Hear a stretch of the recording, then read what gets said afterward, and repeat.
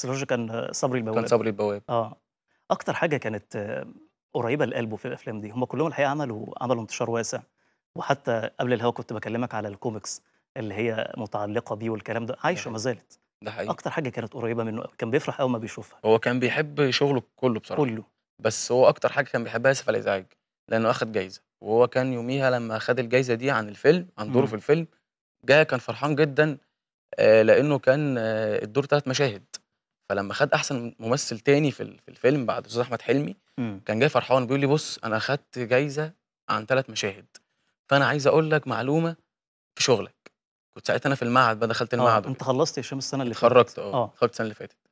فهو قال لي عشان شغلك بقى مش مهم حجم الدور. يعني قال لي مش مهم تبقى بطل مم. بس الناس تطلع مش فاكراك. لا اعمل مشهد اتنين تلاتة بس الناس تطلع من الفيلم أو من المسلسل فاكراك انت. هي مش مجرد نصيحة ده هو ده اللي كان بيعمله ده فعلا اللي كان بيعمله فعلا. مم. قال لي أهم حاجة الناس تطلع فاكراك. كان بيفكر إن هو يكون مساحاته أكبر إن يكون بطل العمل. ده جه في باله ولا لأ؟ جه في باله واتعرض عليه إنه يبقى بطل وهو رفض. ليه بقى؟ آه، كان شايف إنه دايما البطل التاني أحسن. ما أعرفش وجهة نظره في كده إيه مم. بس هو بيقول لي يعني كان بيقول إنه لأ أنا مش عايز أشيل فيلم على كتفي أو مسلسل على كتفي لأ أنا عايز أبقى آه، بطل تاني. خلي بالك في ناس كتير آه، كانت أبطال أدوار تانية وما عملت أدوار أولى ما حققتش نفس النجاح وهم عظماء. جدا حقيقي. ورجعوا تاني آه، أبطال تانية. السلام النابلسي على سبيل المثال. ده حقيقي. بنضرب وكانوا شطار جدا. العظيم ده. وكانوا شطار جدا آه طبعا. وأستاذ عبد المنعم إبراهيم. كان شاطر جدا جدا يعني مدرسة. آه. فهي ال- النماذج كان هو متعلم من من الأجيال دي بعض الحاجات يعني. ده حقيقي. آه. بس هو در... ما درسش يا هشام آه، مدرسة. ما درس كل ده كده جاي موهبة. بالفطرة. ده حقيقي. بالفطرة. طيب ال- الفترة الأخيرة بقى يعني أكيد كان بيستجمع فيها حاجات كتير قوي وبيوجه مثلا ليك أو حتى لأسرته يعني. بعض النصايح بعض ال- الوصايا. كلمكم في إيه بقى في ال- في الفترة الأخيرة دي؟ يعني مش عارف هتصدقني ولا لا إن هو ما قالش حاجة. لأنه ما الموضوع فعلا جه فجأة. يعني مم.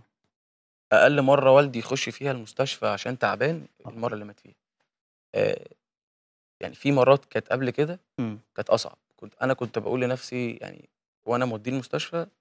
إنه مش هيطلع يعني حالة صعبة جدا المرة دي كان أقل مرة يخش فيها المستشفى أقل مرة حاسس بتعب الموضوع كله كان كرشة نفس بس مم. ورحنا المستشفى وعلق نفس وبتاع بعد كده شاله وقال لي تمام واتكلمنا. طب أجي لك بكرة آه تعالى بكرة طب خلاص أنا همشي ماشي آه. امشي ده كان آخر- آخر آخر آخر آخر حاجة. حوار ليكم مع بعض آخر حاجة وده مضايقني مم. لأنه ما حسسنيش إنه إنه هيحصل حاجة كان بيتكلم طبيعي جدا وبيهزر وبنتكلم في الكورة مم. وقال لي خلاص تعالى بكرة فمشيت وأنا لما تكلموني تاني يوم الصبح آه آه يعني كان اتخذت لأن ما كان ما- كان يوم مفيش كان. يوم جمعة أنا فاكر. كان يوم جمعة. آه بس عايز أقول لك والله يا هشام مدى حب الناس ليه. الحمد أكيد أنت لله. شفته. أنت أكيد لله. شفته. أنت موجود حتى على السوشيال ميديا و... وتابعت الناس بتتكلم عنه إزاي. كمية الدعوات والرحمات اللي وصلت له. يا رب يكون من نصيبه اللهم آمين يا رب. آه والله لأن. دي ال- اللي هي الباقيات الصالحات بقى إن حد بيكون آه سايب الأثر ده عند الناس. سيرته الحلوة إن شاء الله آه. تفضل كده ملحقاه وتفضل بتديله حسنات آه بإذن الله إن شاء الله. يا رب. كان كان عنده اهتمامات تانية بخلاف التمثيل. هو كان بيغني؟ والله. بس كان بيغني في البيت بقى. يعني بيقعد بقى يغني في البيت. طب ما دي كوميديا برضه ما. كوميديا آه. آه طبعا. واقعد أقول له صوتك مش حلو وبتاع. ما هو ويغني. هو, شايف نفسه مطرب. جدا. آه. و... وكان بيحب كورة هو كان أهلاوي آه. وكان بيحب كورة جدا. كان متابع بقى ال... كان متابع كلها. وكان بيتفرج على صلاح على طول كان بيحب ياه. صلاح جدا جدا بيحب مم. صلاح جدا الله. وعمل يرحمه في أيام كأس العالم بقى وال... كان متضايق قوي آه. قوي كان متضايق جدا يعني كأس العالم.